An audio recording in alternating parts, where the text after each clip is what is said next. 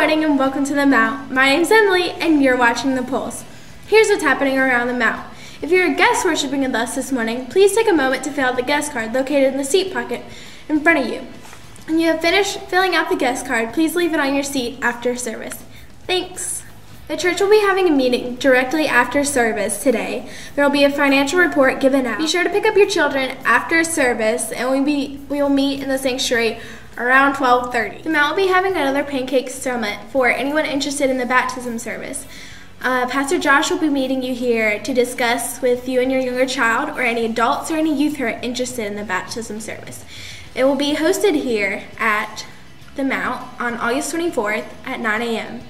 For more information, please see Pastor Lee or Pastor Josh. The Mount is hosting its annual Labor Day picnic on September 1st at 5 p.m. There will be fellowship, fun, and games, and fireworks, which is a plus. Boom, boom. And we will have our main entree, which is chicken. And you should bring some side dishes along with you, if you would like, which you would like.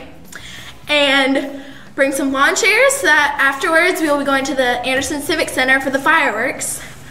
Um, it will be lots of fun. Invite all your friends and just rock it out for Labor Day picnic. Please contact Derek or Lisa Forrester for additional information. For a complete listing of additional details and upcoming events, please pick up a copy of the Mounts e-letter or receive, sign up to receive electronic e-letter by contacting We're tricking you again this week. It's not Lee at. It's April at. Thanks so much for worshiping with us.